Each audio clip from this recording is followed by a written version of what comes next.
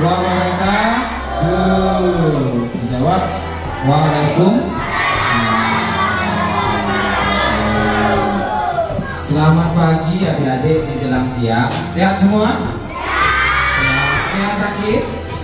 Nah, jadi Pak Kapolsek datang di sini minta waktunya tak beberapa lama paling lama satu jam ya jadi Pak Kapolsek datang bertiga Pak Kapolsek namanya Om Arif datang sama Om Boni sama Pak Babin di belakang namanya Pak Beni.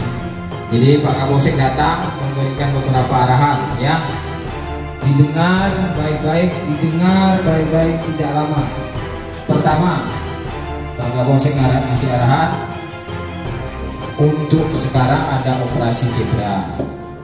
Tetapi seterusnya untuk anak-anak yang di bawah umur dilarang untuk menggunakan kendaraan roda 2 maupun roda 4 ya. Sepeda boleh. Kendaraan sepeda motor ya. Dilarang menggunakan kendaraan sepeda motor karena kalian belum cukup usia.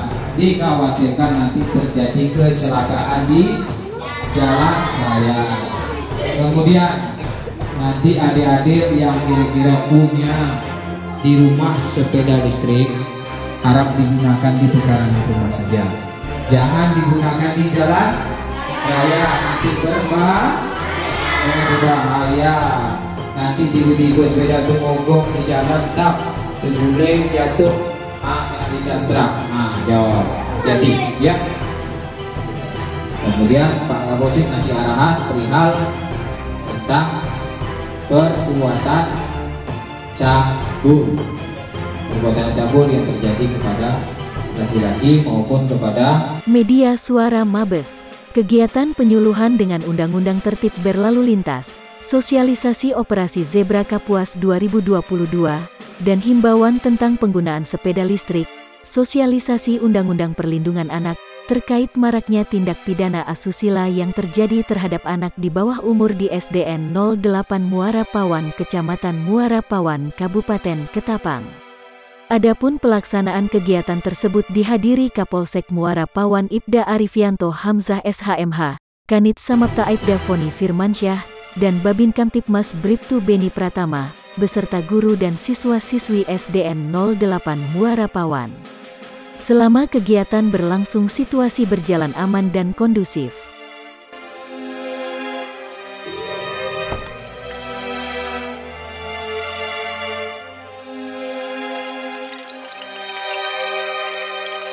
Dari Muara Pawan, Ketapang, Kalimantan Barat, Al Badri melaporkan.